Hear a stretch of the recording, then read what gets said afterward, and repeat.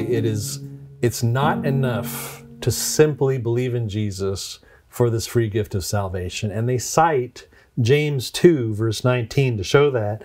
And 219 says, You believe that there is one God, you do well. Even the demons believe and tremble. And what they say is that proves that simply believing in Jesus for salvation is not enough to be saved. Is that, is that anywhere close to being a correct interpretation of this verse? No. That's the end of this video because it's so obviously wrong. I mean, first of all, there's a question on whether these words of James or the objector. Right. The objector starts in verse 18, and I think the words of the objector end in verse 20 because then James says, But do you want to know, O foolish man? Right. O foolish man is the objector. But regardless of whose words verse 19 is, uh, the, the statement is, You believe there is one God. I think this is the objector saying, James, you believe in monotheism. Yeah. Even the demons believe Yeah. in monotheism in monotheism. and they tremble. Yeah. Okay, well, the point is seemingly that you have orthodox belief and you do well. They have orthodox belief and they don't do well. And so their point is there's no necessary connection, I think, between what you believe and what you do.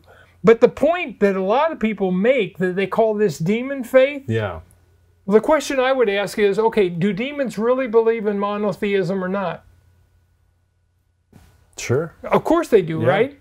I mean, they believe in God. They Yeah. believe in monotheism. They know Jesus is the Son of God. They, they've Mm-hmm. They when he comes up, they identify him as the Yeah. Son of God, right? And they said, "Have you come to torment us before the time?" Yeah. They believe there's going to be torment at the end of the age, and after the millennium, Yeah. they'll be tormented. And so demons actually believe that. In fact, I would go so far, even though that's not the point of this text, the demons believe that any living human being who believes in Jesus has everlasting life that can never be lost. They believe the, the promise of life is true. right, just like Satan does. Yeah. In Luke chapter 8 and verse 12, Satan snatches away the seed lest they should believe and be saved. Right. Now, the demons know that doesn't apply to them because they're not living human beings. Sure. But the truth is, they do know that human beings who believe in Jesus are secure forever. Right. So the demons are more orthodox than a lot of people who talk about demon faith. Mm-hmm. They they know the Bible well. Yeah. And they know. Remember when Satan is tempting Jesus, he's quoting Bible Sure. verses. So what's the point of bringing up demons and what believing in monotheism? here? Well, I think in this context, it's to say there's no necessary connection, the objector is saying, between faith and works. And I think James's point is there should be. right. we should be what we believe we should be applying mm-hmm.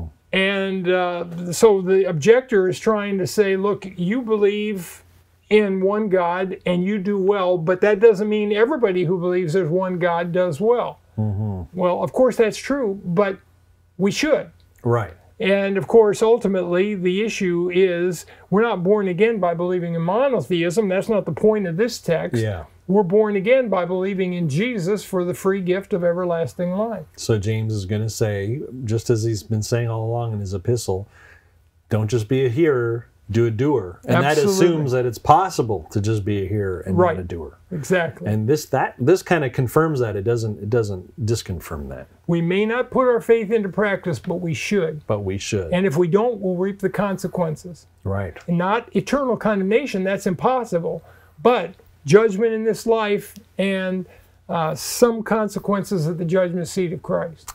Well